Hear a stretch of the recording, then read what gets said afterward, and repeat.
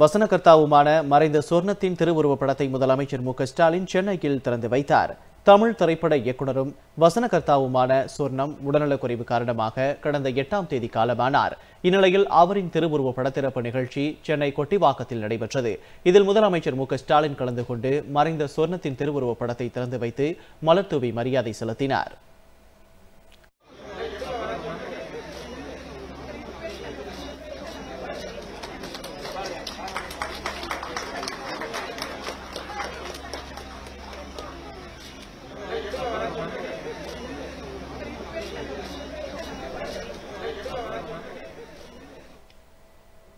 திமுக பொருளாளரும் நாடாளுமன்ற திமுக குழு தலைவருமான டி ஆர் பாலு மக்கள் நல்வாழ்வுத்துறை அமைச்சர் மா சுப்பிரமணியன் சட்டமன்ற உறுப்பினர் அரவிந்த் ரமேஷ் திமுக தலைமை நிலைய செயலாளர் பூச்சி முருகன் மு. நாகநாதன் துர்கா ஸ்டாலின் செல்வி மு. தமிழரசு மற்றும் சொர்ணத்தின் குடும்பத்தினர் இந்நிகழ்ச்சியில் கலந்து கொண்டனர்.